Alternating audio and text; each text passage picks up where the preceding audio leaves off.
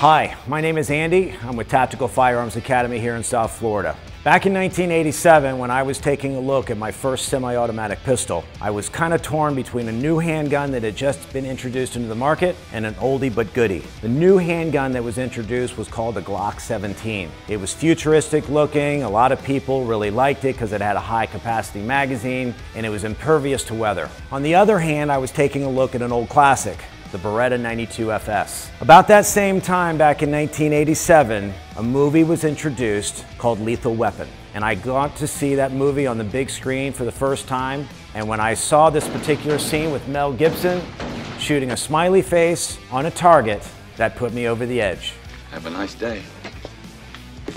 And that was the reason why I went out and I purchased that Beretta. So we're gonna see if we can replicate that shot today.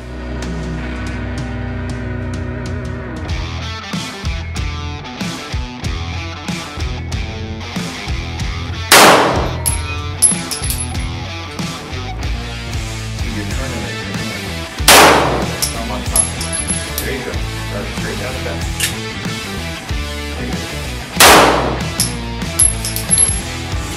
Up to the plate.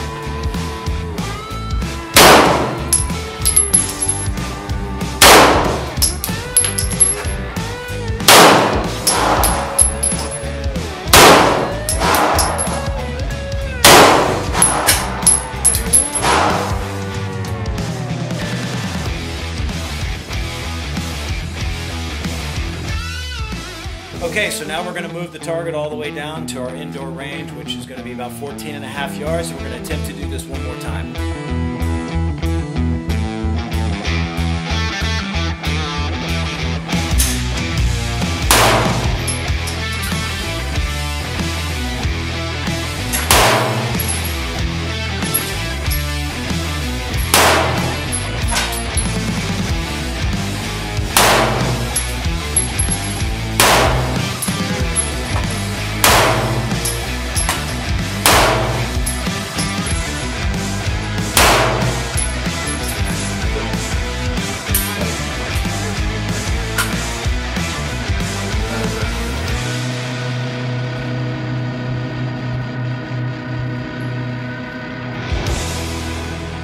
Not exactly my best shooting.